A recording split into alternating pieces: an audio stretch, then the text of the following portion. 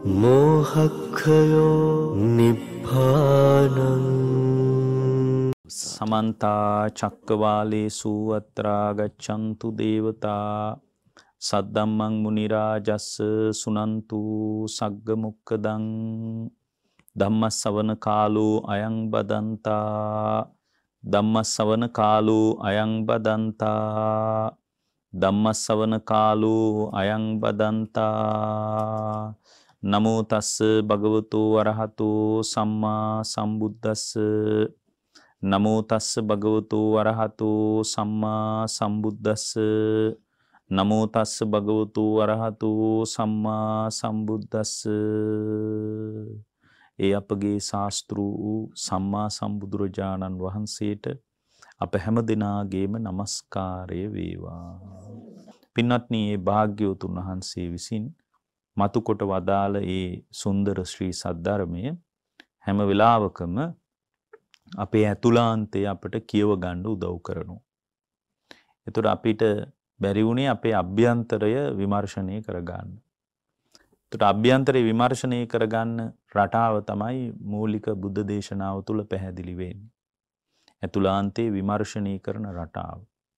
අභ්‍යන්තර ප්‍රත්‍ය විමසා බලන ක්‍රමවේදය තමයි ධර්මයේ තුල පැහැදිලි වෙන්නේ. එතකොට ඇතුළාන්තයේ දකින ශ්‍රාවකයෙක් විදිහට අපි ධර්මයේ තුල යම් නැගී සිටීමක් හදා ගන්න ඕන. එතකොට එතනදී අපිට සැලකිලිමත් වෙන්න ඕන දේ ධර්මයේ පැහැදිලි කරනවා. ඒතර අවබෝධය කරා කෙනෙක් යන්න ඕන නම් ඒ අවබෝධය කරා යන කෙනා Tamanගේ අභ්‍යන්තරයේ දකින්න ඕන. ඒතර Tamanගේ අභ්‍යන්තරයේ දැකීමෙන් තමයි සම්මා දිට්ඨිය උපදින්නේ. ඒකට අපි කියනවා අතිබික්කවේ ආසවා දස්සනා පහතබ්බන් කියලා. මහණෙනි මේ දර්ශනයෙන් ප්‍රහාණය කරන්න ඕන ආශ්‍රව තියනවා කියලා. එතකොට දර්ශනය කියන්නේ මේ Tamanගේ ඇතුළාන්තයේ දකින්න හැකියාව. එතකොට Tamanගේ ඇතුළාන්තයේ දකින්නේ නැති කෙනෙකුට අවබෝධය කරා යන්න බෑ. ඒකට හැම වෙලාවකම Tamanගේ ඇතුළාන්තයේ දකින්න කුසලතාවයක් අපිට තියෙන්න ඕන. එතකොට ඒකට තමයි අපි දර්ශනය කියලා කියන්නේ. ඇතුළාන්තයේ කියව ගන්නවා. දස්සනා පහා තබ්බං දර්ශනයෙන් ප්‍රහාණය කරන්න ඕන ආශ්‍රව තියෙනවා. එතොර ඇතුලාන්තය දකිනකොට ඒ ඇතුලාන්තයේ දැකීමේ මාර්ගය තමයි අපි මුලින්ම හඳුන ගන්ටෝන්. එම ඇතුලාන්ත එක පාර දකින්න බෑ ඇතුලාන්තයේ දකින ක්‍රමවේදය තමයි අඳුරගන්න එක විශ්වාසයෙන් ගොඩ නගා ගන්ටෝන එකක්. ඒකන ධර්මය කියන ශ්‍රද්ධාව කියල මුලින් විශ්වාසය එක අපේ අවබෝධයන් නෙමේ අපගේ බුදුරජාණන් වහන්සේගේ අවබෝධය උන්හන්සේ විශ්වාස කර ගැනීමක් විතරයි අපි කරන්න. එතුර උන්හන්සේ ගැන යම් විශ්වාසයක් අපට ඇති වෙනවා. එතර බුදුරජාණන් වහන්සේ ගැන විශ්වාසයක් ඇති වුණහම අපිට ඒ උන්වහන්සේ ගැන තියෙන විශ්වාසයට උන්වහන්සේ වදාළ දේ පිළිබඳවත් අපට විශ්වාසයක් ඇති වෙනවා. ඒ උන්වහන්සේ වදාළ දේ පිළිබඳ අපට විශ්වාසයක් ඇති වෙනකොට උන්වහන්සේ වදාළ දේ පිළිබඳව ඇතිවෙච්ච විශ්වාසය තුළින් අවබෝධය කරා ගියපු අය ඉන්නවා කියලත් අපට විශ්වාසයක් ඇති වෙනවා. ඒක තමයි ඔය බුදුරජාණන් වහන්සේ ධර්ම රත්නයේ සංඝ රත්නය කියලා අපි කතා කරන්නේ. බුදුරජාණන් වහන්සේ ගැන විතරක් නෙමෙයි විශ්වාසය ඇති වෙන්නේ. බුදුරජාණන් වහන්සේ වදාළ දේ ගැනත් අපිට යම් විශ්වාසයක් ඇති වෙනවා. ඒ ධර්මයේ තුලින් සැනසුණු සංඝයා ගැනත් විශ්වාසයක් ඇති වෙනවා. නමුත් ඒක තවම අපි තුල අවබෝධය තහවුරු වෙලා නැහැ. අපි තුල මොකක්වත් අවබෝධය තහවුරු වෙලා නැහැ. විශ්වාසයක් විතරක් තියෙනවා. විශ්වාසයට ඒ කියන්නේ අර බුදුරජාණන් වහන්සේ පිළිබඳ විශ්වාසයට ඒ කතාව පිළිබඳව යම් වටිනාකමක් වැටහෙනවා. මේක ඇත්ත වෙන්න ඇති කියලා. ඒකට අපි කියනවා අනුමාන ඥානය කියලා. ලෝකෙ බටහිර විගැන්වීම් වලක් තියෙනවා බටහිර දර්ශනයේ තියෙනවා අනුමානය සහ ප්‍රත්‍යක්ෂය කියලා දෙකක්. ඒතර ප්‍රත්‍යක්ෂ අනුමානය සහ මේ බුද්ධ ශාසනයේ තානුභූතික ප්‍රවණතා තියෙනවා. අනුමානය අනුමානය කියන්නේ ඒක තහවුරු වෙච්ච එකක් නෙමෙයි. අනුමාන කරපු දේ හරියන්ටත් පුළුවන් වරදින්නත් පුළුවන්. අනුමාන කරගත්ත දේ හරියන්ටත් පුළුවන් වරදින්නත් පුළුවන්. අපි දන්නේ ඒක. එත හරියොත් එහෙමයි වැරදුනොත් එහෙමයි. එතුට අර විශ්වාසය මත තමයි රඳා රඳා පවතින්නේ. තු ලෝකේ ඉගැන්වීම් ගොඩාක් විශ්වාසය මත රඳා පවතින්නේ තමා තුළ ප්‍රත්‍යක්ෂ කර ගැනීමක් මත නෑ ලෝක ගැන්වීම. එනිසා තමයි බුද්ධ ශාසනය විශේෂ වෙන්නේ. ඇයි අනුමාන කරගත්ත ධර්ම කතාව ප්‍රත්‍යක්ෂ කරගන්න තමන්ට අවකාශය ලැබෙනවා. අර අනුමාන කරගත්ත දේ තමා තුළ ප්‍රත්‍යක්ෂ කරගන්න ක්‍රියාමාර්ග ටිකක් ධර්මයේ පෙන්නනවා. ඉතින් අනුමානය හරියටම ගණ්ඩ බෑ. දැන් තේ විජ්ජ කියන සූත්‍රයේ තියෙනවා අනුමානය ගැන බුදුරජාණන් වහන්සේ වදාළ දේ. දැන් එතකොට සමහර වෙලාවට අනුමානය කියන එක හරියන්නත් පුළුවන් වරදින්නත් පුළුවන්. නමුත් හරි ගියත් ඒක අනුමාන කරපු දේ නිශ්චිත නැහැ. ඒ කියන්නේ මේ කියන දේශනාවල තියෙන හැඩය අවබෝධ වෙනකොට ඊටාම විස්මිත විදියට තහවුරු වෙමින් Tamanගේ ඇතුළාන්තයේ ප්‍රඥා ඉන්ද්‍රිය මෝරමින් අවබෝධය කරා යන්නේ මේ අහගන්න විදිය අවබෝධය සම්බන්ධ කතාව අපිට එහෙම විස්තර කරගන්න බෑ. ඒ කියන්නේ නිවන් නිවන් පුරය කියලා මිනිස්සු කතා කරන්නේ. නිවන පුරය කියලා කියන්නේ නගරය කියන එක. නිවන නගරයක් වගේ නෙමෙයි. මේ පරමාර්ථ ඇත්ත තෝරන්න පාවිච්චි කරපු සම්මත ලෝකේ උපමායෝ. නිවන නිකන් නිවන් පුරය ඔය ඔගොල්ලෝ දැකලා ඇති ඔය බස්වලත් ගහලා තියෙනවා නිවන් පුරේ රුවන් දොර ඇරේවා කියලා. නිවන පුරයක් වෙන්නත් බෑ. පුරේ කියන්නේ නගරය කියන එකනේ. නිවන නගරයක් වෙන්නත් බෑ රුවන් දොරක් තියෙන්නත් බෑ මොකද රත්තරන් තියෙන තැන්වල ගොඩාක් ප්‍රශ්න තියෙනවා. ඒ නිසා මේ රුවන් දොරක් තියෙන්නත් බෑ නමුත් අර පරමාර්ථ සත්‍ය ඇතුලේ ඒ යථාර්ථය පැහැදිලි කරන්න වටිනාකම පෙන්වන්න පාවිච්චි කරන උපමා. ඒවා දුර්වල උපමා. ඒ කියන්නේ මේ සම්මත උපමා වලින් පරමාර්ථ ඇත්ත ගැන කතා කරන්න අමාරුයි. ඒක දුර්වලයි. ඉතින් දුර්වල වුණාට කරන්න දෙයක් නෑ අපිට ඒක ඒ ඔස්සේ තමයි අපට හඳුනා ගන්නට වෙන්නේ. නමුත් අර අනුමාන කරගන්න දේ ප්‍රත්‍යක්ෂ වෙනකොට නිකන් නිවන පුරයක් වගේ රත්තරන් දොරක් තියෙන ඒ විදිය තැනක් නෙමෙයි. ඒ කියන්නේ අර අනුමානයේ මත ගොඩනගාගත දැනුම තුලින් ප්‍රත්‍යක්ෂ කරා යනකොට ඒක දැනෙන ප්‍රමාණය සහ දැනෙන විදිය හරිම වෙනස්. ඒක වචන වලින් විස්තර කරගන්න බෑ. ඒක තම තමන්ගේ ප්‍රඥාවෙන් ස්පර්ශ කරලා බලන්න ඕන එකක්. අනුමාන කළහමත් පොඩි අවබෝධයේ සම්බන්ධ හැඩයක් ගන්න පුළුවන්. දැන් හිතන්න මෙහෙම අන්දයෝ ටිකක් ගෙනල්ලා එක රජ කෙනෙක් කියනවලු මේ රජ්ජුරෝ විනෝදයට තමයි එහෙම කියලා තියෙන්නේ. අන්දයෝ ටිකක් ගෙනල්ලා කිව්වලු මේ ආලි ඇතාව පෙන්නලා කිව්වලු මේ ඒගොල්ලෝ ජාත්‍යන්දේ උපතින්ම ඇත්තු දැකලා නැති අය. කිව්වලු මේ ඇතා මොන වගේද කියලා මේ ඇතාව අතගාලා බලලා කියන්න කියලා. රජ්ජුරෝ මේ විනෝද වෙන්න කියපු දෙයක්. එතකොට එක්කෙනෙක් ඇතාගේ කකුල් දෙක අල්ලලා කිව්වලු මෙහෙම කකුලක් අත ගාලා බලලා කිව්වලු මේ රජතුමනි ඇතා කියන්නේ නිකන් වංගෙඩියක් වගේ කියලා. එතකොට තවත් කෙනෙක් කිව්වලු තවත් කෙනෙක් ඉතින් ඔක්කොම අන්දයිනේ. තවත් කෙනෙක් ගෙන්නලා කන අත ගාලා බලලා කිව්වලු ඔක්කොම ඉස්සරහා මේ රජතුමනි මේ ඇතා කියන්නේ ඔය වංගෙඩියක් වගේ නෙමෙයි. මම දැන් හොඳට අත ගාලා බැලුවා. ඇතා කියන්නේ නිකන් කුල්ලක් වගේ සතෙක් කියලා. තවත් කෙනෙක් මේ හොඬ වැල අල්ලලා කිව්වලු ඇතා කියන්නේ නිකන් මෝල් ගහක් වගේ කියලා. ඔළුව අත ගාලා බලලා තවත් තවත් කෙනෙක් වල මේ ඔක්කොටම වැරදිලා රජතුමනි ඒගොල්ලෝ හරියට හරියටම අත ගාලා බලලා නැහැ ඇතාව රජතුමනි ඇතා කියන්නේ හරියට කලයක් වගේ කියලා. ඉතින් බඩ හරියෙන් ටිකක් අත ගාපු කෙනා කිව්වලු මේ ඔක්කොටම වැරදිලා රජතුමනි ඇතා කියන්නේ නිකන් වී ගොඩක් වගේ මෙයාලට මේක තේරෙන්නේ නැහැ කියලා. ඒතර මේ අය අතරම පොඩි ගැටුමක් ඇති වෙනවලු මතවාදීව. හැබැයි ඉතින් වී ගොඩක් වගේ එක්කුත් මැද තියලා වංගෙඩි හතරකුත් හතර පැත්තෙන් තියලා මේ කලයක් වගේ එක්කුත් තියලා පොඩි ගත්තාම ඇතෙක්ගේ පොඩි හැඩයක් ගන්න පුළුවන්. පොඩි එහෙන් මෙහෙන් ඇතෙක්ගේ හැඩයක් ගන්න පුළුවන්. අනුමාන ඥානය අන්න ඒ වගේ. ආනුමා හැබැයි ඉතින් ඔය වංගෙඩි හතරක් තිබලා ඒ විදිහට ගන්න ආකෘතිය ඇතා නෙමෙයි. ආනුමානික ඥානයක් තියෙන්නේ. ඉතින් ප්‍රත්‍යක්ෂයේ වෙන කතාවක්. ප්‍රත්‍යක්ෂයේ ඒ අනුමාන ඥානය ඔස්සේ තමයි ප්‍රත්‍යක්ෂයට එන්නේ. අපි අනුමාන කරගන්නවා. ඒක සද්ධාවෙන් තමයි අපි අනුමාන කරගන්නේ. සද්ධාව නැත්තම් අපිට අනුමාන කරගන්න බෑ. ශ්‍රද්ධාවෙන් තමයි ආනුමානික ඥානෙ ගොඩනගාගන්නේ අපි අනුමාන කරගන්නවා ශ්‍රද්ධාවෙන්. එතකොට ශ්‍රද්ධාවෙන් අනුමාන කරගන්නේ මේ භාග්‍යතුන් වහන්සේගේ අවබෝධය පිළිබඳ විශ්වාසවන්ත කතාවකට එකතු වෙනවා. මේ කතාව අවබෝධ කරලා නෙමෙයි විශ්වාස කරගන්නවා. ඒ විශ්වාසයටනේ ওই බිමෙහිම වාඩි වෙලා ඉන්නේ ශ්‍රද්ධාවටනේ. විශ්වාස කරගෙන හොඳයි ඔබ වහන්සේලා කියන්න අපි අහන්නම් අපි බුදුරජාණන් වහන්සේට ගරු කරනවා කියන අර්ථය ඇතුවනේ ඔය අත්තු වාඩි වෙලා පවා ඉන්නේ. අනුමාන කරලා මේ විශ්වාසය ඇතුලේ අනුමාන අනුමානික ඥානයක් තමයි ගොඩනගා ගන්න තියෙන්නේ. නමුත් අනුමානය සහ ප්‍රත්‍යක්ෂය පිළිබඳ ලෝකේ කතා කළාට ලෝකේ කතා කරන්නේ ඉන්ද්‍රිය ප්‍රත්‍යක්ෂයක් ගැන. ඉන්ද්‍රිය ප්‍රත්‍යක්ෂයක් ගැන. ඉන්ද්‍රිය ප්‍රත්‍යක්ෂ සීමාවේ තමයි යථාර්ථ ඒගොල්ලෝ ඇත්ත හොයාගෙන යන්නේ. නමුත් බුද්ධ ශාසනයේ පෙන්වන ඉතා වැදගත් දෙයක් තමයි ඉන්ද්‍රිය ප්‍රත්‍යක්ෂ සීමාව ඇතුලේ යථාර්ථයේ මුණ ගැහෙන්නේ ඒකට අතීන්ද්‍රිය ඥානයක් වමනා කරනවා. ඒවට තමයි දිබ්බසෝත ඥානය, දිබ්බ චක්කු ඥානය, පරචිත්ත විඥානන ඥානය, ආසයානුසේ ඥානය මේ වගේ ඥාන දර්ශනයක් ඔස්සේ තමයි බුදුරජාණන් වහන්සේ අවබෝධය සම්බන්ධ පෙන්වුවේ. එතකොට අපි තුලත් ප්‍රත්‍යක්ෂ අවබෝධයේ පිණිස අපිට සිද්ධ වෙනවා එක දෙයක් කරන්න. මොකද්ද ප්‍රත්‍යක්ෂ අවබෝධයේ පිණිස අපිට කරන්න තියෙන්නේ? ප්‍රත්‍යක්ෂ අවබෝධය පිණිස අපට වෙන දෙයක් නෙමෙයි කරන්න තියෙන්නේ ප්‍රත්‍යක්ෂ අවබෝධය පිණිස අපට කරන්න තියෙන්නේ පින්වත්නි ඥාණයම දියුණු කරන්නයි. ඒ ඥාණය දියුණු කරන රටාව බුදුරජාණන් වහන්සේ අපට ඉතාම මැනවින් අනුදැන වදාලා. එතකොට මේ ප්‍රත්‍යක්ෂය කරා යනකොට බුදුරජාණන් වහන්සේගේ දේශනාවේ තියෙනවා මේ සංවේදී විය යුතු තැන සංවේදී වෙන්න ඕන කියලා. සංවේදී විය යුතු තැනදී සංවේදී වෙන්නේ නැතුව ප්‍රත්‍යක්ෂ ඥානය ගොඩනගා ගන්න බෑ. අපි ඒකට ධර්ම සංවේගය කියලාත් කියනවා. ධර්ම සංවේගය නැත්තම් අවබෝධය කරා යන්න බෑ. අර මේ භාග්‍යවතුන් වහන්සේ කෙරෙහි උපන් ශ්‍රද්ධාවත් එක්ක තමා තුළ ධර්ම සංවේගය උපදින්න ඕන.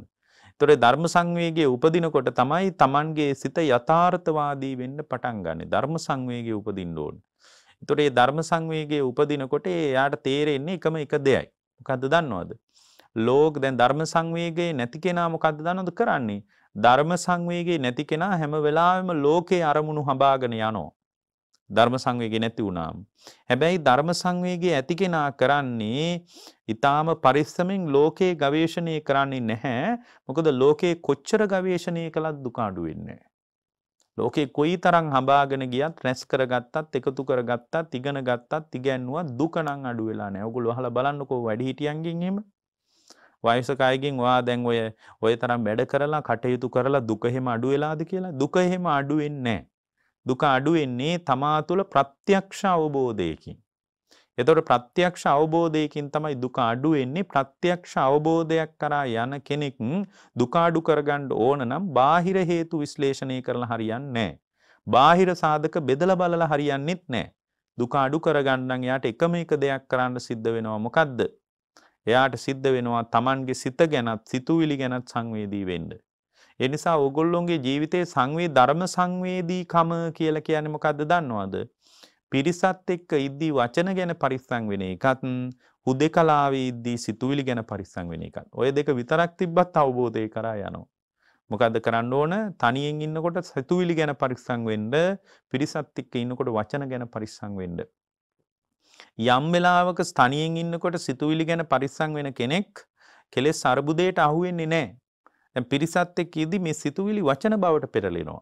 ඒ වචන බවට පෙරලෙනකොට පින්වත්නි මේ වචන තුල කර්ම රැස් වෙනවා. එතකොට මේ කර්ම රැස්වීම ඇතුලේ තමයි අපිට නැවත නැවත අනාගත අරුබුදේ හටගන්නේ. එතකොට අපිට අවබෝධය කරා යන්න අපිට තියෙන එකම එක දෙයයි අපේ සිතුවිලි ගැන සංවේදී වෙන එක. සිතුවිලි ගැන සංවේදී වෙන්න ඕනේ ඇයි? බුදුරජාණන් වහන්සේ අපට අනුදැන වදාලා පින්වත්නි මේ සිතුවිලි තමයි කර්මය කියලා. සිතුවිලි ගොඩ නැගෙන තාක්කල් කර්ම රැස් වෙනවා කියලා. සිතුවිලි වර්තමානයේ ගොඩනැගෙන තාක්කල් දුක්ඛ ස්කන්ධයක් හටගන්නවා කියලා. සිතුවිලි මත තමයි දුක රඳා පවතින්නේ කියලා. දුක කියන්නේ භෞතික වශයෙන් සත්‍ය වශයෙන්ම පවතින හොයාගෙන හඹාගෙන ගිහින් මෙන්න බලන්න දුක කියලා පෙන්වන්න පුළුවන් එකක් නෙමෙයි. දුක කියන්නේ Tamanගේ සිතට සිතුවිලි ගලාගෙන ඒම මත ඇතිවෙන අත්දැකීමක්. කෙටියෙන්ම කිව්වොත් සිතුවිලි ගලන්නේ නැත්නම් දුක කියලා එකක් ඇත්තේ නැහැ. දුක වනාහි සිතුවිලි ගලාගෙන ඒමමයි. ඉතින් සිතුවිලි ගලාගෙන එන එකම දුක නම් දුක අඩු කරන්න කියලා හිතාගෙන එළියේ රැකියා කරාට වැඩක් නැහැ. පැවැත්ම පිණිස ඔගොල්ලෝ රැකියා කරන්න. දුක නම් අඩු වෙන්නේ නැහැ. ඔගොල්ලෝ කොයිතරම් මුදල් හම්බ කළත් දුක අඩු වෙන්නේ නැහැ. මොකද මුදල් ගොඩාක් තියන අයත් දුක මත ගිලා බැහැලා ඉන්නේ. මන් දන්නවා මන් දන්න ව්‍යාපාරිකයෝ ඉන්නවා බොහොම ධනපති පන්තියේ මිනිස්සු මට මතකයි පහුගිය කාලේ එක්තරා බොහොම ලංකාවේ ප්‍රධාන පෙළේ ව්‍යාපාරික මහත්තයෙක් ඔය ලංකාවේ බොහෝම ඉහළ කෝටිපති මහත්තුරු අතර බොහෝම උඩින් ඉන්න කෙනෙක් එක දවසක් මේ මෑත කාලේ දවසක මම ඉස්සරහා ඉකි ගගා ඇඬුවා යාගේ පවුල් ප්‍රශ්නිකට. එතකොට එයා ගොඩාක් ධනෙ හොයාගෙන ඊට පස්සේ එයාගේ කතාවත් කිව්වා මම මෙන්න මෙහෙම අමාරුවෙන් අමාරුවෙන් ධනෙ හොයපු කෙනෙක් ස්වාමීන් වහන්සේ. මම මෙච්චර මෙච්චර අමාරුවෙන් අමාරුවෙන් වැඩ කරපු කෙනෙක්. ඒ වුණාට දැන් බලන්න එයාට මම ඉස්සරහා අඬන්න වෙනවා නම් එයා කොච්චර හම්බ කළත් එයාගේ දුක අඩු වෙලා නැහෙනි. හේතුව ඇයි? සිතුවිලි ගලන තාක්කල් දුක පවතිනවා. සිතුවිලි අවබෝධ කළාම දුක නිරුද්ධ වෙනවා. සිතුවිලි අවබෝධ කළාම දුක නිරුද්ධ වෙනවා. අපි කරන්නේ අවබෝධ කරන එක විතරයි. දැන් අපිට අවබෝධ කරනවා මේ චතුරාර්ය සත්‍ය අවබෝධ කරනවා දුක නිරුද්ධ කරනවා කියලා අපිට වෙන මොකුත් කරන්න නැහැ. අපි වෙනදා වගේම සුපුරුදු විදියට ආයතන හයෙන් අත්දැකීම් වලට එකතු වෙනවා. ආයතන හයෙන් අත්දැකීම් වලට එකතු වුණාට ආයතන ඇසුරු කරගෙන කෙලෙස් විතරක් හැදෙන්න දෙන්නේ නැහැ.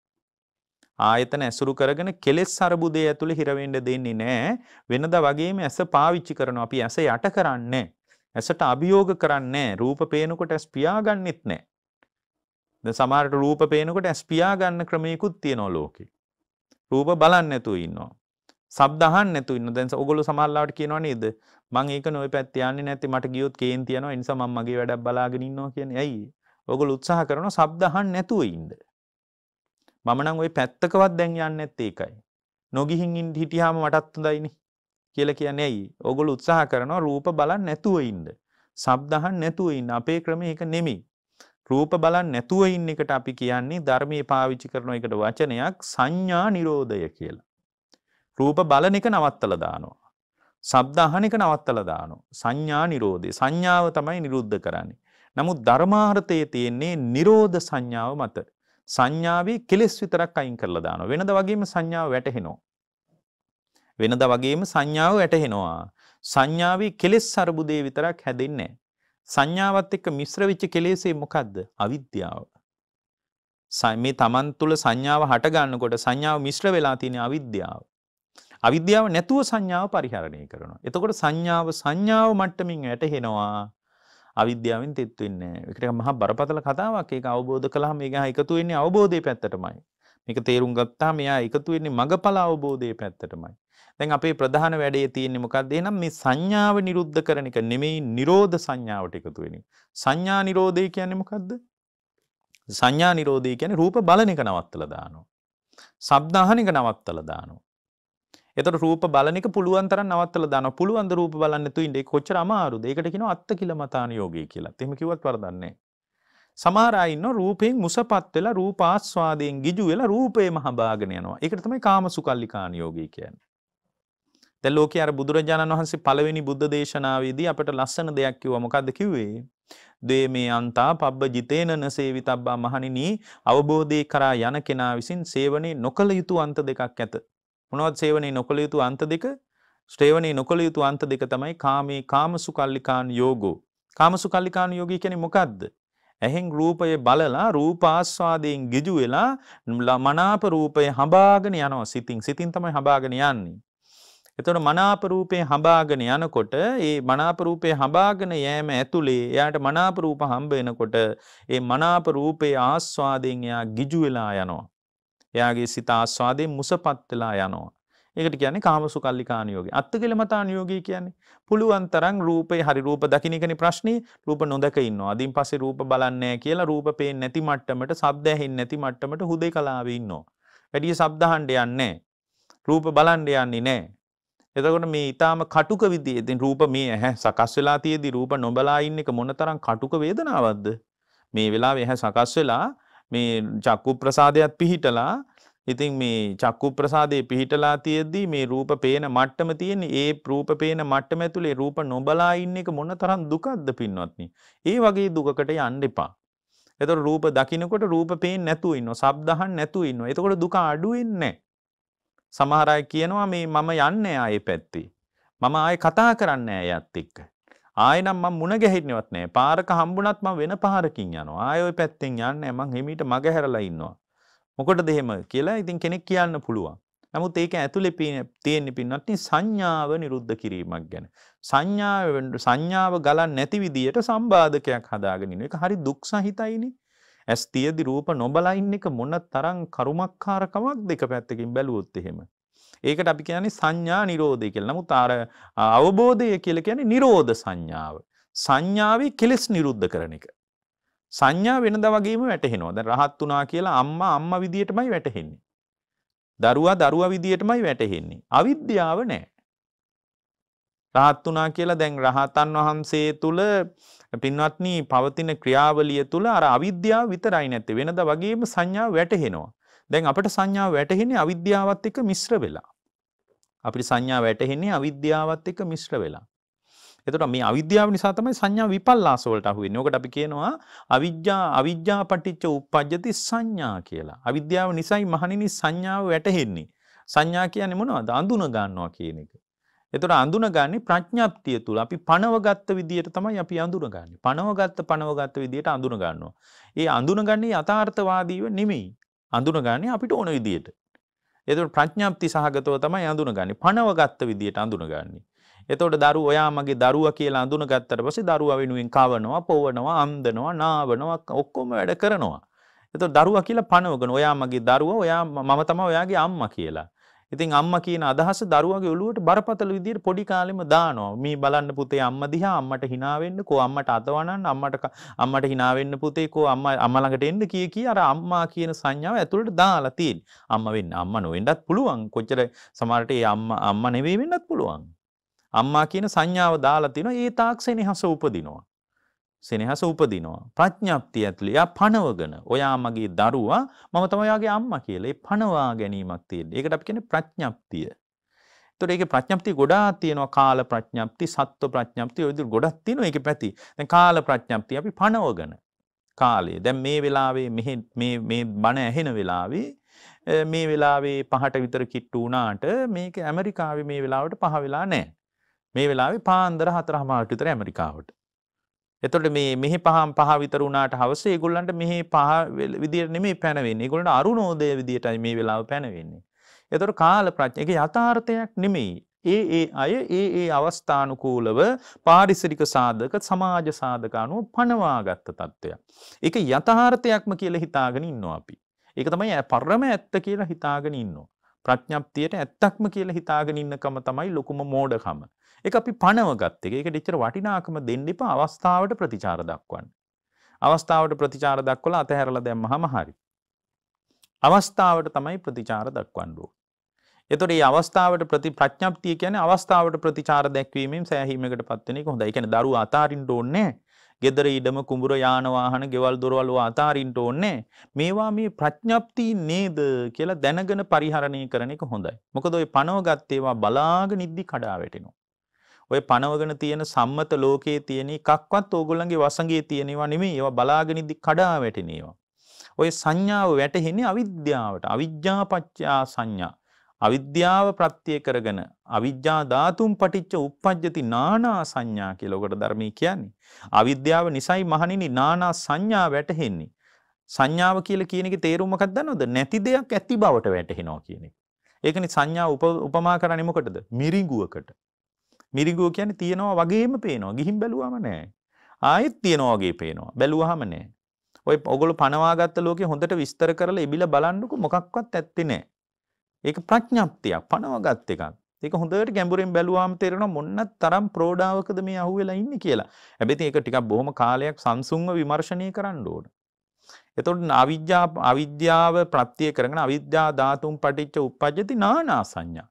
අවිද්‍යා ධාතුව නිසා තමයි පුද්ගලයා පුද්ගලයා තුල නානා සංඥා හටගන්නේ. ඒකනේ ඕගොල්ලන්ට ඕගොල්ලන්ගේ දරුවා වුණාට එයා මට මගේ දරුවා නෙමෙයිනේ. ඕගොල්ලන්ට දරුවා කියන අදහස ඇතුලේ සෙනෙහස හටගත්තට අපිට නම් එහෙම සෙනෙහසක් හටගන්නේ ඕගොල්ලන්ට ඕගොල්ලන්ගේ දරුවා මැරුණා කියලා දුක ගැලුවට අපිට නම් දුක ගලන්නේ. ඒකනේ මේ කෙනෙක් මැරුණාම ලෝකේ මඩන්නේ නැත්තේ. එයාගේ අම්මලයි තාත්තලයි වටේ ඉන්න අය ඔක්කොම අඬනවා. ඇයි එයාලනි පනෝගෙන තියෙන අපි ඕව පනෝගෙන නෑ නිසා අපි අඬන්නේ අනේ අපොයි කියලා හිතලා බලලා එන්න පුළුවන් ගෙදර. අනේ මේ මොකක්ද වෙලා තියෙන්නේ මේ මිනිස්සු අකාලේ මැරුණා නේද කියලා හිතලා එන්න පුළුවන්. අපි කණ එක එහෙම නවත්තලා ගේ මේ මේ අපි හිතමුකෝ මේ වෙනකොට අනුරාධපුරේ පැත්තේ මිනිස්සෙක් මැරුණා කියලා අපේ ගෙවල් වල උයන එක නවත්තන්නේ නෑනේ. ආ මැරිලාද එහෙමද කියලා අහලා අපි සුපුරුදු විදිහටම වැඩ ටික කරගෙන යනවා. යම්කිසි සංවේදීකමක් එන්න පුළුවන් අපරාධ එහෙම මැරුණ නැත්නම් හොඳයි වගේ. නමුත් මේ ලෝකෙ ඔක්කොම පණව ගත්තේවා පින්වත්නි. පණවා ගත්තේ නැති මොකුත් නැහැ. ඔක්කොම ප්‍රඥප්තියක් තියෙන. ඒ ප්‍රඥප්තිය ඇතුලේ මමත්වයකින් ලෝකේ කියවන කමක් අපිට තියෙනවා. ඒකට තමයි ආත්ම දෘෂ්ටිය කියන්නේ. අවිද්‍යාව නිසාමයි මේ දෘෂ්ටිය එන්නේ. ඕකට ධර්මයේ කියනවා අවිජ්ජා ධාතුම් පටිච්ච නානා සංඥා සංඥා පටිච්ච දිට්ටි කියලා ඕකට කියන්නේ. සංඥාව නිසා තමයි දෘෂ්ටිය ලැබෙන්නේ. සංඥාව නිසා දෘෂ්ටිගත වෙනවා ආත්ම දෘෂ්ටියක් ඇති වෙනවා. ඒ සංඥාව ඇතුලේ මගේ කියලා ඒවා කියවන්නත් පුළුවන් මගේ නොවෙන ඒවා කියලා කියව ගන්නත් පුළුවන්. ඔන්න ඔහම කියවා ගැනීමක් අපිට තියෙනවා. ඕක බුද්ධ ශාසනය ඇතුළේ විතරයි ඕක ලියන්නේ. ඕක ලියලා බැලුවාම නිකන් සරුව ශූන්‍යතාවයකට හිතපත් වෙනවා. මොකක්වත් නැහැ කියලා නිකන් වැටහෙනවා. මමත්වයේ ඇතුළේ ගන්න අබමල් රේණුවක්වත් නැහැ කියලා වැටහෙන්න ගන්නවා. හොඳට බලන්නකෝ පින්වත්නි අවිජ්ජා ධාතුම් පටිච්ච උප්පජ්ජති නානා සංඥා අවිද්‍යා ධාතුව නිසා නානා සංඥා උපදිනවා. සංඥා පටිච්ච උප්පජ්ජති සංකප්පෝ සංඥාව නිසා තමයි ඔයගොල්ලෝ කල්පනා කරන්නේ. ඒ සංඥාවලට සාපේක්ෂව ඔයගොල්ලෝ කල්පනා කරන්නේ. හොඳට බලන්නකෝ පින්නත්නි ඒ සංඥා සංඥාව වැටහෙන ප්‍රමාණයට තමයි ඔයගොල්ලෝ කල්පනා කරන්නේ. ඒ කල්පනා කරනකොට මොකද්ද වෙන්නේ? කල්පනා කරනකොට ඒ කල්පනාවට අනුව තමයි පින්වත්නි ඡන්දය උපදින්නේ. කල්පනා කරන්න කරන්න හිත තුළ ඡන්දය උපදිනවා. ඒ ඡන්දේ නිසා තමයි පරිලාහයක් උපදින්නේ අභ්‍යන්තරික දැවිල්ලක් හටගන්නවා. ඒ සංඥා සහගත ලෝකේ පරිස්සම් කරන්න රැකින්න ගෙදර ගිහින් තියාගන්න ආරක්ෂා කරන්න මහ පුදුමාකාර දැවිල්ලක් හට ගන්නවා. පරිලාහම් පටිච්ච උප්පජ්ජති පරියේසනා පරිලාහය නිසා අර ඇතුලේ පවතින දැවිල්ල නිසා තමයි හොයාගෙන යන්නේ. හොයාගෙන යනකොට තමයි කර්ම රැස් වෙන්නේ. අර සංඥා සහගත ලෝකේ Tamanගේ වසඟේ පවත්වන්න උගොළු සිතින් වැඩ කරනකොට, කයින් වැඩ කරනකොට, සිතින් සැලසුම් කරනකොට, වචන වලින් කතා කරනකොට එතකොට තමයි අලුතෙන් කර්ම රැස් වෙන්නේ. අපි හිතන්නේ සමහරවිට මේ හැම වෙලාවකම අපි තුල මේ කර්ම රැස් වෙනවා කියලා එකක් අපි වැඩි විශ්වාස කරන්නේ නමුත් පින්වත්නි හැම වෙලාවකම අපි තුල කර්ම රැස්වීමක් තියෙනවා. ඇයි අර මේ අසංඥාවේ මුලාව නිසා ඒකට අනුව කල්පනා කරනවා. ඒ කල්පනා කරනකොට ඒවා කෙරෙහි ඡන්දයක් උපදිනවා. ඒ උපන් ඡන්දේ නිසාම මේ ඡන්දේ පදනම් කරගත්ත ලෝකේ අත්පත් කරගන්න ඕන කියලා සිත ආයාචනා කරමින් සිටිනවා. ඒක අත්පත් කරගන්න සිතින් සැලසුම් කරනවා, වචනයෙන් කතා කරනවා. ඊට පස්සේ කයනුත් වැඩ කරනවා. එතකොට කර්ම රැස් වෙනවා. ඒ කර්මයේ තමයි ඔයගොල්ලන්ගේ ඔය දැන් තියෙන නාම රූප પરම්පරාව හදලා තියෙන. ඔය දැන් තියෙන ඔය රූපේ තියෙන්නේ. ඔක හදලා තියෙන ඔන්න ඔය කර්මය. අනාගතෙත් මේ වෙලාවේ ඕගොල්ලෝ සංඥා විපල්ලාස වලට අහු වෙලා අවිද්‍යා සහගතව මේ ප්‍රඥප්තිය ඇතුලේ දුන්න වටිනාකම මහ බරපතල විදිහට දුන්නොත් අනාගතේටත් ඔය වගේම රූපයක් සකස් වෙනවා. අනාගතේටත් ඕකමයි වෙන්නේ. මේ ලෝකේ එකම දේ නැවත නැවත වෙමින් පවතිනවා. වෙන මොකක්වත් වෙන්නේ නැහැ. එකම දේ නැවත නැවත වෙමින් පවතිනවා. අර සංඥාව ඇතුලේ තමයි වටිනාකම යන්නේ ලෝකෙට. සංඥා විපල්ලාස වලට අහු වුණාම තමයි වටිනාකම යන්නේ. ඉතින් වටිනාකම යනකොට අර ආයතන හයෙම අපි ලොකු මුලාවක ඉන්නේ මේ. ඉතින් මුලාවක ඉන්න බවවත් අපි දන්නේ නැහැ. එතකොට දැන් මේ ඔක්කොම ඔක්කොම මානසික ගතිනේ. සංඥාව කියන්නේත් මානසික ගතියක්. ඡන්දේ කියන්නේත් මානසික ගතියක්. වේදනාව කියන්නේත් මානසික ගතියක්. ඔක්කොම මානසික ගතියක්. ඒ මානසික ගතියක් නිසා දැන් පරිලාහය කියන්නේත් මානසික ගතියක්. පරිේශණය හොයාගෙන යන්නෙත් මානසිකව. ඉතින් මේ ඔක්කොම මානසික ගති ටිකක් තියෙන එකයි බුදුරජාණන් වහන්සේගේ දේශනාවට අනුව අපි ඕගොල්ලන්ට පැහැදිලි කළේ පිරිසත් එක්ක ඉදි වචන ගැන පරිස්සම් වෙන්න, තනියෙන් ඉද්දී සිතුවිලි ගැන පරිස්සම් වෙන්න. ඒ විතරක්ම ඇති සෝතාපන්න වෙන්න. තනියෙන් ඉන්නකොට යම් කෙනෙක් සිතුවිලි ගැන සංවේදී නම් පිරිසත් එක්ක ඉද්දි වචන ගැන සංවේදී නම් ඒක විතරක් ඇති පින්වත්නි අවබෝධය කරා යන්න. ආයේ වෙන මොකක්වත් ඕනේ අවබෝධය කරා යන්න. දැන් අපිට ওই දෙකම නෑ. ওই දෙකම උපදින්න ඕක තමයි සංවේදීකම කියලා කියන්නේ. එතකොට ওই සංවේදීකම නෑ ලංකාවේ ගොඩාක් අයට නෑ. ඕකම තමයි ධර්ම සංවේගය කියලත් අපි කියන්නේ. එතකොට දැන් අපිට සිතුවිලි ගැන කිසිම සංවේදීකමක් නෑ. අපිට මේ සිතුවිලි ගැන සංවේදීකමක් නැති නිසාම දැන් සිතුවිලි ගැන සංවේදී වෙනකොට මොකද්ද වෙන්නේ? හැම වෙලාවකම වර්තමානයේ සිතුවිලි ගැන සංවේදී වෙන්න. ඊයේ හටගත්ත සිතුවිලි වැඩක් නැහැ. ඒවා ඔක්කොම නිරුද්ධ වෙලා ඉවරයි. ආයෙ ඒවා හටගන්නේ ඒවා ඊයේ හටගත්ත විදියට ආයෙ කවදාවත් හටගන්නේ ඊයේ දැකපු දේවල් ආයෙ කවදාවත් ඊයේ දැකපු මට්ටමින් දකින්න ලැබෙන්නේ මොකද ඇසේ ඇසේ සීමාව එච්චර දුර්වල සීමාවක්. ඊ මේ වෙලාවේ දකින්න ඒවා ආයෙ කවදාවත් දකින්න හම්බෙන්නේ නැහැ. ඕගොල්ලන්ට මේ දකින්න මට්ටම ආයෙ කිසි දවසක ඉන්නේ නැහැ. ඒ මට්ටමින් නම් ආයෙ දකින්න බෑ. ඒකනේ අර කතාවක් තියෙන එකම ගඟක් දෙවතාවක් දකින්න බෑ කියලා. එකම ගඟක දෙවතාවක් නාන්න බෑ කියලා. එකම ගඟකට දෙවතාවක් මිනිස්සෙකුට බැහැ ගන්න බෑ කියලා. ඒ වගේම එකට තව පොඩි ඌර්ණ පූරණයකුත් එකතු කරන්න ඕනේ. එකම ගඟකට දෙවතාවක් බැහැ ගන්නත් බෑ තමයි. එකම ගඟකට දෙවතාවක් බහින මිනිහෙකුත් නැහැ එකම ගඟකට දෙවතාවක් බහින මිනිස්සෙකුත් නැහැ මොකද නාම රූප પરම්පරාව එච්චර වේගෙන් බිඳිලා යනවා. ගඟට බැහැපු මිනිස්සයා නෙමෙයි පින්වත්නි ගොඩට එන්නේ එච්චර වේගයට නාම රූප પરම්පරාව බිඳි බිඳි යනවා. ඒකට අර නාම රූප පරිච්ඡේදක ඥානෙ නැති නිසා එහෙම බිඳෙන ප්‍රවාහයක් ගැන අපිට කිසි විශ්වාසයක් නැහැ. අපි දන්නේ නැහැ එහෙම බිඳෙනවා කියලා. වේගයෙන්ම බිඳි බිඳි යන ප්‍රවාහයක් තියෙන. ඒ නිසා එහෙම බිඳෙන බව අපි දන්නේ නැහැ. මොකද ඒක ප්‍රඥාවෙන් අවබෝධ කරන්න ඕන එකක් මිසක් ඉන්ද්‍රිය අත්දැකීමක් නෙමෙයි. ඒ කියන්නේ අර ඉන්ද්‍රිය ප්‍රත්‍යක්ෂයෙන් විතරක් බුද්ධ දේශනාවේ අවබෝධය කරා යන්න බෑ කියලා මං ඉස්සලා කිව්වේ. ඒ කියන්නේ අතීන්ද්‍රිය ඥානය කියලා එකක් ඕන කියලා. ඒතකොට මේ ඥානෙ වැඩෙන්නේ සිත පුහුණු කිරීම මත. ඥානෙ වැඩෙන්නේ හිත පුහුණු කිරීම මත. එතකොට හිත පුහුණු කරන එකට තමයි අපි ධර්මී කියන්නේ සමාධිය සමාධිය කියලා හැම වෙලාවකම කියන්නේ හිත පුහුණු කරන්න ඕන හැම බෞද්ධයෙක්ම හිත පුහුණු කරන්න ඕන හැම බෞද්ධයෙක්ම හිත පුහුණු කරන්න ඕන හිත පුහුණු කරන්නේ නැති බෞද්ධයෙක් ඉන්න විදිහක් නැහැ පින්වත්නි හිත හිත ප්‍රඥාව මත භාවිතා නොකරන කෙනා බෞද්ධයෙක් වෙන්නේ කොහොමද කියලා ඉතා බරපතල ප්‍රශ්නයක් තියෙනවා.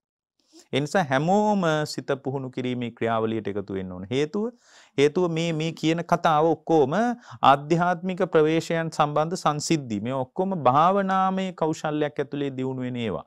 මේ ඒ ඒ කුසලතාවයේ ගොඩනගා ගැනීම පිණිස ඍජු ක්‍රියාමාර්ග ඕන. දැන් ඔයගොල්ලෝ එකක් හරි දන්නවනේ මොකද්ද? තනියෙන් ඉන්නකොට සිතුවිලි ගැන පරිස්සම් වෙන්න ඕන පිරිසත් එක්ක ඉන්නකොට වචන ගැන පරිස්සම් වෙන්න ඕන. මොකද ওই සිතුවිලි තමයි වචන බවට පෙරලෙන්නේ. දැන් හැම වෙලාවකම මම මේ කතා කරන ඒවා මගේ හිතේ ඇතිවන විතර්ක. මේවා මේ හම්බෙන් එන ඒවා නෙමෙයි. මගේ සිත තුළ ඇතිවෙන විතර්ක ਵਿਚාර තමයි වචන විදියට එළියට එන්නේ. එතකොට දැන් අපි සිත ගැන සංවේදී වෙනකොට සිතුවිලි ගැන හරිය පරිස්සම් වෙන්න ඕන. හේතුව සිතුවිලි තමයි ලෝකේ මවන්නේ. සිතුවිලි තමයි ලෝකේ යථාර්ථයක් බවට පත් කරන්නේ. ලෝකේ උපදින්නේ සිතුවිලි මත. මේ වෙලාවේ දරුවා සම්බන්ධ සිතුවිලි ගැලුවොත් විතරයි දරුවා උපදින්නේ මනස තුල. දරුවා සම්බන්ධ මේ වෙලාවේ සිතුවිලි ගලන්නේ නැත්නම් දරුවා උපදින්නෙත් නෑ. දරුවෙක් ඉන්න බවට වැටහීමකුත් නෑ. හොඳට බලන්න ඕගොල්ලන්ගේ හිත දිහා. මේ වෙලාවේ සිතට සිතුවිලි ගලාගෙන ඒම මත gedara වැටහෙන්නේ නැත්නම් gedarak වැටහෙන්නේ නෑ විතරක් නෙමෙයි. gedarak තියෙන බව දන්නෙත් නෑ. gedaraka වටිනාකමක් වැටහෙන්නෙත් නෑ. මොකක්වත් නෑ පින්වත්නි. ලෝකේ සිතුවිලි මත තමයි ලෝකේ උපදින්නේ. ඒකයි බුදුරජාණන් වහන්සේ මතක් කළේ මහණෙනි චිත්තේන නියති ලෝකෝ කියලා. මහණෙනි ලෝකේ මවන්නේ සිතයි කියලා බුදුරජාණන් වහන්සේ වදාළේ ඒකයි. ලෝකේ හැමදාමත් උපදින්නේ වර්තමානීය තුල. හැමදාමත් ලෝකේ වර්තමානීය තුල උපදින්නේ. මේ වෙලාවේ මගේ අම්මා උපදින්නේ අම්මා පිළිබඳ මානසිකාරය කරමි මානසිකාරය කරනකොට මානසික ගතියක් විදියටයි පින්වත්නි. ඒ මානසික ගතිය එළිය ලෝකෙට බාහලන්න පුළුවන් තාක්කල් එළිය අම්මා ඉන්න බවට මම විශ්වාස කරනවා එච්චරයි. ඔය මානසික ගතිය මේක ඉතින් ටිකක් ගැඹුරක් පවතින දෙයක් පුළුවන් නම් තේරුම් ගන්න. මානසික ගතිය දැන් අපිට මානසික ගතියක් උපදිනවනේ. ඒ මානසික ගතිය එළිය ලෝකයට බාහලන්න පුළුවන් තාක්කල් අම්මා උපදිනවා දරුවා උපදිනවා ගෙදර උපදිනවා. ඔක්කොම යථාර්ථයක් කියලා අපි හිතාගෙන ඉන්නවා හිතාගෙන ඉන්නවා. එම මම ආයනෙන් ගන්න පුළුවන් දේවල් තියෙනවා කියලා හිතාගෙන ඉන්නවා. එහෙම හිතාගෙන ඉන්න එක නිසාමයි දුක ගලන්නේ. එහෙම හිතාගෙන ඉන්න එක නිසා දුක ඇයි දුක ගලන්නේ? හිතාගෙන ඉන්න එකේ වරදක් නෙමෙයි. මම මගේ කියලා පිළිගත්තේ පින්නත්නි සකස්සුණු ලෝකයක්, සංකත ලෝකයක්.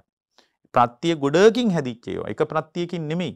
ප්‍රත්‍යෝත්පන්නයේ විදියට ප්‍රත්‍ය සමவாயකින් හැදිච්ච එකක්. පින්වත්නි, එකම ප්‍රත්‍යක් නෙමෙයි ප්‍රත්‍ය ශක්තියකින් ගොඩනැගිච්ච ලෝකයක් මේක. එකම ප්‍රත්‍යයකින් ඉපදිච්ච ඒවා නෙමෙයි ප්‍රත්‍යෝත්පන්නයේ විදියට පින්වත්නි සංසිද්ධියක් විදියට අපි ගත්තාම එක විදියට පෙනුනට ලොකු ප්‍රත්‍යෝත්පන්න තත්වයක් තියෙනවා. දැන් බලන්න ක්‍රිකට් මැච් එකක් ගන්න නිකන්. එතකොට ක්‍රිකට් මැච් එක හොඳට බලන්න පින්වත්නි කී දෙනෙක් ඉන්න ඕනද ක්‍රිකට් මැච් එකක් සම්පූර්ණ වෙන්න. දැන් පිට්ටනියක ක්‍රිකට් මැච් එකක් දර්ශනීය වෙන්න නම් පින්වත්නි පිතිකරුවෝ ඉන්න ඕන, පන්දු රකිනා ඉන්න ඕන, ඊට පස්සේ විනිසුරුවරු ඉන්න ඕන. මේ ඔක්කොම එකතු වුණාම තමයි ක්‍රිකට් මැච් එකක් නිර්මාණය වෙන්නේ. එතකොට ගොඩාක් ප්‍රත්‍ය ඕන ඒකට. එතකොට ප්‍රත්‍යෝත්පන්නී විදියට ක්‍රිකට් මැච් එක කිව්වට ඒකට ගොඩාක් ප්‍රත්‍ය දායකත්ව වෙලා තියෙනවා. ඒ ප්‍රත්‍ය දායකත්වයකින් තමයි ක්‍රිකට් මැච් එක කියන එක එන්නේ. එතකොට අන්න ඒ වගේ බින්වත්නි මේ ප්‍රත්‍ය ගොඩකින් හැදිච්ච ලෝකයක් මේක. ප්‍රත්‍යෝත්පන්න තත්ත්වයක්. මේ මොහොතේ අපි යම් තුල යම් අපි තුල යම් ආකාරයක අපි අපේ අභ්‍යන්තරය තුල ලෝභ දේශ මොහ හට ගන්නවා නම් ඒවාට අනුව ප්‍රත්‍යෝත්පන්නේ විදියට ලෝභය දේශේ මෝහය පදනම් කරගෙන ඒකට අනුව චිත්තචෛතසික ධර්ම උපදිනවා. අලෝභද්වේ සමෝහ අනුව චිත්තචෛතසික ධර්ම උපදින්න පුළුවන්. ඒ චිත්තචෛතසික ධර්මය වලට අනුව රූපයත් උපදිනවා. එතකොට දැන් ප්‍රත්‍ය ලෝභදේශ මෝහාදී ඒවාට අදාළ අතිරේක උපක්ලේශ සහිතව චිත්තචෛතසික ධර්මත් රූපස්කන්ධයත් හට ගන්නවා. එතුන මේ ඕගොල්ලෝ මේ ගත්ත ස්වභාවය හුදෙකලා තත්ත්වයක් නෙමෙයි ගොඩාක් ප්‍රත්‍යයන්ගෙන් ඉපදිච්ච තත්ත්වයක්. ඒක ප්‍රත්‍යයකින් හැදිච්ච එකක් නෙමෙයි ප්‍රත්‍ය සමவாயකින් ගොඩ නැගිච්ච ලෝකයක් තියෙන්නේ. එතකොට මේ ලෝකේ සකස් වෙච්ච එකක් මේක. මේ සකස් වෙච්ච ඒවට ආවෙනගේ සකස් වෙච්ච කමට අපි වචනයක් පාවිච්චි කරනවා. ධර්මයක බොහොම ප්‍රසිද්ධ වචනයක්. ඒකට මොකද්ද කියන්නේ? සංකතයි කියලා. සකස් වෙලා. සංකත ලෝකයට ආවේනික තත්ත්වයක් තියෙන. උපාදෝ පඤ්ඤායති වයෝ පඤ්ඤායති තිතස්ස අඤ්ඤ තත්තම් පඤ්ඤායති. ඇතිවීමක් නැසීමක් වෙනසීමක් තියෙනවා. එතකොට ඕගොල්ලෝ මමායනේ ඇතුලේ පිළි අරගෙන තියෙන්නේ ඇති වෙලා නැසිලා වෙනසිලා යන ඒවා ඒවා ඕගොල්ලෝ මම මගේ කියලා පිළිගත්ත කියලා නැසිලා වෙනසිලා යන එක නවතින්නේ මම මගේ කියලා පිළිගත්තේව නැසිලා වෙනසිලා යනකොට විතරයි දුක හටගන්නේ. ලෝකයේ තියෙන ඔක්කොම කඩාගෙන වැටුණා කියලා අපිට කවදාවත් දුක හටගන්නේ නැහැ. මම මගේ කියලා පිළිගත් ඒවා කඩා වැටෙනකොට විතරයි දුක හටගන්නේ. එහෙනම් දුක හටගන්නේ මම මගේ කියලා වටිනාකම දුන්නකම ඇතුලේ මිසක් ලෝකය වෙනස් වීම මත දුක හටගන්නේ ලෝකේ වෙනස් වුණා කියලා අපිට කවදාවත්ම පින්වත්නි දුකක් හටගන්නේ නැහැ. ලෝකේ වෙනස් වීම කිසි ප්‍රශ්නයක් නැහැ. මම මගේ කියලා වටිනාකම දුන්න එක තමයි ප්‍රශ්නය. අර මම මගේ කියලා වටිනාකම යන්නේ අවිද්‍යාවට. මම මගේ කියන වටිනාකම යන්නේ නැතුව ඇහැ පාවිච්චි කරන එකට තමයි කියන්නේ නිරෝධ සංඥාව කියලා. අර මම මගේ කියලා වටිනාකම යන්නේ නැති විදිහට අවිද්‍යාව දුරු කරලා වෙනද වගේම රූපේ පරිහරණය කරනවා. එතකොට දුක ගලන්නේ දුක ගලන්නේ හොඳට බලන්නකො පින්වත්නි මමත්වයේ පදනම් කරගෙන විතරමයි දුක හටගන්නේ. මමත්වයේ පදනම් කරගෙන කියවාගත්ත නැති ලෝකයක් වෙනස් වුණා කියලා කඩා වැටුණා කියලා අපි කවදාවත් හඬා වැටිලා නැහැ පින්වත්නි. හැමදාමත් අපි හඬලා තියෙන්නේ මම මගේ කියලා පිළිගත්ත ලෝකේ කඩා වැටීම මතයි. දැන් සිතුවිලි ගැන සංවේග ප්‍රාප්ත වන ශ්‍රාවකයා Tamanගේ සිත ගැන සංවේදී වෙන කෙනා. එතකොට එයා Tamanගේ සිතුවිලි හොඳට දකින්න ඕන. Tamanගේ සිතුවිලි හොඳට දකින්න ඕන. සිත දෙස ඊටා සාවධානව බලාගෙන ඉන්න. සිත දෙස සාවධානව බලාගෙන ඉන්නකොට ඔන්න එයාට තව දෙයක් වැටහෙනවා මොකද්ද? එයාට සිතුවිලි ටික විතරක් නෙමෙයි වැටහෙන්නේ. සිතුවිලි ටිකත් වැටහෙනවා දෙවනි වර එයාට වැටහෙනවා මොකද්ද? සිතුවිලි ඇති වෙලා නැති වෙලා යන බවටත් වැටහෙනවා. සිතුවිලි හටගෙන හටගෙන නිරුද්ධ වෙලා යන බවටත් වැටහෙනවා. ඒක තේරෙන්නේ නැත්නම් රැට විනාඩි 10ක් විතර අරගෙන උදේ ඉඳලා හවස් වෙනකන් වැඩ කරපුවා බලන්නකෝ. උදේ ඉඳලා ඔන්න මේක කරලා බලන්න මාසයක් යනකොට ලොකු වෙනස්කම් ටිකක් තියෙයි. මේව මොකක්වත් කරන්න නැති නිසා ලංකාවේ අයට ප්‍රතිඵල නැහැ. ඕගොල්ලෝ උදේ ඉඳලා හවස් වෙනකන් වැඩ කරපුවා බලාන ඉන්නකෝ. උදේ ඉඳලා හවස් වෙනකන් ඕගොල්ලෝ කරන වැඩ තියෙනවනේ. ඔය වැඩ දිහා බලාගෙන ඉන්න. පැයින් පැයට බලන්න උදේ 6 ඉඳලා හවස 6 වෙනකන් කරපු වැඩ බලන්න. උදේ පළවෙනි 6 ඉඳලා 7 වෙනකන් මොනවද කළේ කරපු ප්‍රධාන සංසිද්ධියක් පෙනේ. හතේ ඉඳලා අට වෙනකොට හත ඉඳලා අට වෙනකම් වාහනේ හිටි ඔෆිස් එකට යන ගම. ඒතර ඔය විදිහට සිද්ධි ටික දෙස හොඳට සාවධානව බලන්න. මුල් කාලේ වැටහෙනෙකුත් නැහැ. දවල්ට මොනවද කෑවේ කියලාත් අමතක වෙන්න පුළුවන් මුල් කාලේ. නමුත් ටික සතියක් දෙකක් යනකොට හොඳට වැටහෙනවා නිකන් උදේ ඉඳලා වෙච්ච දේවල් චිත්‍රපටියක් බලනවා වගේ වැටහෙන්න ගන්නවා. සතියකට විතර පස්සේ පැය භාගෙන් පැය භාගයට බලන්න. දැන් 6 7 පැය නෙමේ 6 ඉඳලා 6:30 වෙනකම් මම මොනවද ඇසුරු කරේ සිද්ධි හයයි තිහින්දල හත වෙනකං කොහොමද කියලා බලන්න. ඔය විදියට සති දෙකක් විතර ඔහොම බලලා තුන්වෙනි සතිය බලන්න මම හයේ ඉඳලා හත වෙනකං යම් සිද්ධියක් ඇසුරු කරා නං ඒ සිද්ධිය ඇසුරු කරනකොට මගේ හිත කොහොමද තිබ්බේ. මගේ හිතේ මොන වගේ ස්වභාවයක්ද තිබ්බේ කියලා බලන්න. හතේ ඉඳලා අට වෙනකොට අහවල් සිද්ධිය ඇසුරු කළා මගේ හිතේ මොන වගේ සිතුවිලි දේ වෙලාවේ හටගත්තේ කියලා ආවර්ජනය කරලා බලන්න. එතකොට Tamanගේ සිතුවිලි පේන්න ගන්නවා. ඊට පස්සේ පැය භාගෙන් පැය භාගයට සිතුවිලි ඇසුරු කරන විදිය බලන්න. ඔෆිස් එකේ වැඩට ගිහින් ඉඳලා මොනවා හරි කනස්සලු සහගත සංසිද්ධියක් වුණා නම් ඒ වෙලාවේ ව්‍යාපාදයේ කියන සිතුවිලි නේද මගේ හිත තුල හටගත්තේ කියලා බලන්න. ඊට පස්සේ කෑම කණ්ඩ ගියාට පස්සේ ව්‍යාපාදයේ සම්බන්ධ සිතුවිලි නිරුද්ධ වෙලා ආහාරයේ සම්බන්ධ රාගසිතක් නේද මට ඇවිල්ලා තිබ්බේ කෑම කාලේ ඉවර වෙනකන්. ඊටාම රසයි මිහිරි අද හොඳට කෑම හදලා තියෙනවා කියලා ඊටාම මනාප වශයෙන් කෑම පිඟාන පිළිගත්ත වෙලාවේ ඇලුම් සහගත සිතක් නේද මගේ හිත කෑම කාලේ ඉවර වෙනකම් මනාප සහගතව ඇලුණුකමක් නේද ආහාරයට මගේ හිත තුල තිබ්බේ. ඒ ඇලුණුකමක් තිබ්බ බව දැනගන්න හොඳට. ඊට පස්සෙත් හතරවෙනි සතිය විතර බලන්න පින්වත්නි ඒ විදියට මේ සිත ඇලුම් කළ යුතු සිත හටගන්නකොට ඊට කලින් අපි තමකෝ රැකියා කරන තැන මොකක් හරි අර්බුදයක් කියලා. එතකොට මොකක් හරි දේශ සහගතව ප්‍රතිචාර දක්වන්න උනා කියලා හිතන්නකෝ. ඒ දේශ සිත කෑම කණ්ඩ ගියාට පස්සේ නිරුද්ධ වුණා නේද කියලා බලන්න. පැය භාගයක් එකම සිතක් පවතින්නේ නැහැ සිතක් මොහොතක්වත් පවතින්නේ නැහැ. නමුත් ඉතින් ආදුනික ශ්‍රාවකෙක් කොහොම හරි මේ කතාව තේරුම් ගන්නත් ඕනනේ. එතකොට හැම වෙලාවකම තේරේවි සිතුවිලි නම් වහා බිඳි විදී යන බව. එතකොට Tamanගේ සිත ගැන සංවේදී විතරක් නෙමෙයි සිතුවිලි ගැන සංවේදී විතරක් නෙමෙයි සිතුවිලි වහා බිඳි බිඳී යන බවටත් සංවේදීකමක් උපදිනවා. වේගයෙන්ම සිතුවිලි බිඳෙන බවට වැටහීමක් ඇති වෙනවා පින්වත්නි. ඔය විදිහට දැන් සිතුවිලි වේගයෙන් බිඳෙන බව දකින්න එක. දැන් සිත සිතුවිලි ටික සංවේදී වෙන එක තමයි ආදුනික ශ්‍රාවකයාගේ ස්වභාවය. බුදුරජාණන් වහන්සේගේ ශ්‍රාවකයාගේ ආදුනික ශ්‍රාවකයාගේ ස්වභාවය මොකද්ද? සිතුවිලි දකින්න එක. ඒකට අපි සම්මා දිට්ඨිය කියලා කිව්වත් කිසි වරදක් නැහැ. ඒකට කම්මස්ස කතා සම්මාදිට්ඨිය කිව්වත් වරදක් නැහැ. සිතුවිලි ටික පින්වත්නි අනාගත කර්මයක්ම හදනවා කී කී අපි ඔය ඉස්සෙල්ලා බණට කිව්වේ. කම්මස්ස කතා සම්මාදිට්ඨිය කියලා එක කියමුකෝ. එතකොට කම්මස්ස කතා සම්මාදිට්ඨිය ආදුනික ශ්‍රාවකයෙක්ගේ ස්වභාවයක්. ඊට පස්සේ යා මේ විදිහට හිත භාවිතා කරමින් දැනගත්ත හැම වෙලාවකම සිදුවීමක් සිත ඇසුරු කරන බව. හැම සිදුවීමක්ම සිත මොහොතක් ගානේ ඇසුරු කරන බව යා දැනගත්තා. හැම වෙලාවකම සිතුවිලි සිත ඇසුරු කරන බව යා හොඳට තේරුම් ගත්තා. එතකොට යාට තේරෙනවා මොකද්ද? සිතුවිලි නිරන්තරයෙන්ම බිඳි බිඳි යන ප්‍රවාහයක්. අන්න ඒක තමයි සේක ශ්‍රාවකත්වය කියලා කියන්නේ. සේක ශ්‍රාවකත්වය. සිතුවිලි වහා බිඳි බිඳී යනවා කියලා දකින එක. ඒක සම්මාදිට්ඨිය එක්තරා ඔසවා තැබීමක්. සිතුවිලි වහා බිඳි බිඳී යනවා. දැන් තුන්වෙනි පියවර විදියට එයා දකිනවා මොකද්ද? ඔන්න තුන්වෙනි පියවර විදියට දකින දේ ඊටා මනවින් තේරුම් ගන්න පින්වත්නි. තුන්වෙනි පියවර තමයි සිතුවිලි වහා බිඳි බිඳී යනවා විතරක් නෙමෙයි. සිතුවිලි වහා බිඳි බිඳී යන ස්වභාවය ඇතුලේ අපට වෙන දෙයක් තියෙනවා. පින්වත්නි සිතුවිලි බිඳෙනකොට අලුත් සිතුවිලි නැවත හිත තුල හට ගන්නවා. හටගත්ත සිතුවිලි ආය බිඳිලා යනවා. සිතුවිලි නිරන්තරයෙන්ම හටගෙන නිරන්තරයෙන්ම බිඳි බිඳී යනවා නේද කියලා දකිනකොට ඒ බිඳි බිඳී යන සිතුවිලි අනිත්‍යයි නේද? අන්න සිතුවිලි අනිත්‍යයි නේද කියලා බලනකොට තමයි ලෝකෝත්තර සම්මාදිට්ඨිය උපදින්නේ. සිතුවිලි අනිත්‍යයි නේද? මුලින් තිබ්බ සිතුවිලි මේ බණහඬ වාඩි වෙනකොට දැන් මේ වෙලාවෙම සිත විමසන්න ගියොත් ඔයගොල්ලෝ අහලා ඇති බණහලා සෝවාන් වුණා කියලා. එතකොට යාගේ සිත සිතුවිලි දකිමින් දකිමින් තමයි ධර්මය අහන්නේ. යම් භික්ෂුවක් Tamanගේ සිතත් සිතුවිලි දකිමින් දකිමින් බණ කිව්වොත් ඒ භික්ෂුව ධර්මාසනයේදී වුණත් සෝවාන් වෙන්න පුළුවන්.